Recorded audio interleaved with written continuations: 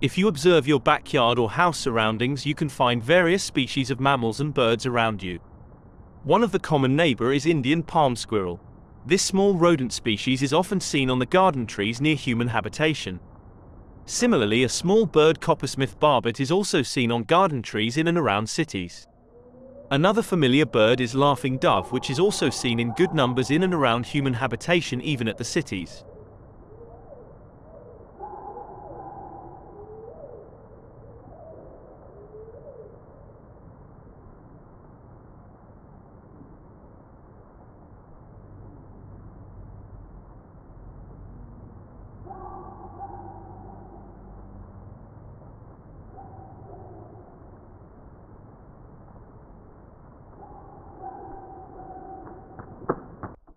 यदि आप अपने आसपास वातावरण को देखें तो आपको कई प्रजातियों स्तनपाई जीव और पक्षी दिखाई देंगे। इन्हीं में से एक स्तनपाई जीव है गिलहरी जो कि अक्सर मानव बसाहट के आसपास ही बाग बगीचों में लगे पेड़ों पर दिखाई देती है।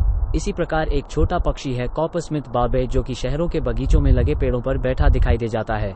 एक और जाना पहचाना पक्षी है लाफिंग डव जो कि मानव बसाहट में और घरों के आसपास अच्छी संख्या में दिखाई देते हैं।